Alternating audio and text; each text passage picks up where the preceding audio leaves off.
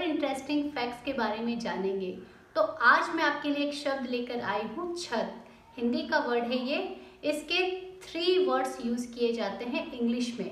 पहला वाला वर्ड्स है रूफ दूसरा वाला वर्ड्स है सीलिंग और तीसरा वाला वर्ड्स है टेरेस तो एक छत है और उसके लिए हम तीन इंग्लिश में वर्ड यूज़ करते हैं रूफ सीलिंग और टेरेस अब तीन वर्ड हैं और तीनों वर्ड एक ही शब्द के लिए यूज़ किए जा रहे हैं। तो ऐसा नहीं है कि तीनों एक दूसरे के पर्यायवाची हैं। तीनों बिल्कुल अलग हैं। अलग अलग प्रकार की छत के लिए यूज़ किए जाते हैं। तो इस वीडियो में हम सीखेंगे कि कौन सी छत के लिए कौन सा वर्ड यूज़ किया जाता है। ठीक है? तो पहले हम एक वर्ड लेते हैं roof R double O F roof ये छत को ही कहा जाता है, लेकिन जो छत होती है, उसके ऊपर वाला जो हिस्सा होता है, जहाँ हम चलते हैं, घूमते हैं, बैठते हैं और भी बहुत सारे काम हम करते हैं, कोई भी सामान सुखाते हैं तो वो जो छत है, उस छत को हम रूफ कहेंगे, ठीक है?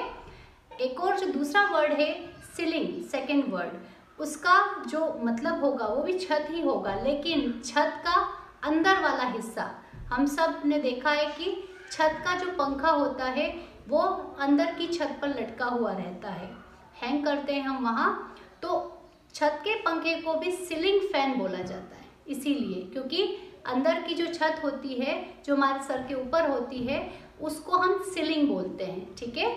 और थर्ड वर्ड है छत के लिए टेरेस इसका मतलब भी छत ही होता है, लेकिन छत का वो भाग जहाँ मुंडेर जिसे हम कहते हैं, छज्जा भी कहते हैं बहुत सारी जगह हिंदी में, या मुंडेर भी कहते हैं। आप ये समझें कि छत जहाँ ख़त्म होती है और जहाँ बाउंड्री हम लगाते हैं चारों तरफ़ और झुक के हम देखते हैं तो नीचे दिखाई देता है और वहाँ बहुत बार हम गमले वगैरह या और भी कुछ सामान रखते हैं तो इस एरिया को, छत के उस एरिया को हम टेरेस बोलते हैं। इसीलिए आप सबने सुना होगा टेरेस गार्डन ठीक है? ऐसा गार्डन जो छत पर लगाया जाता है, छत की मुंडेर पर।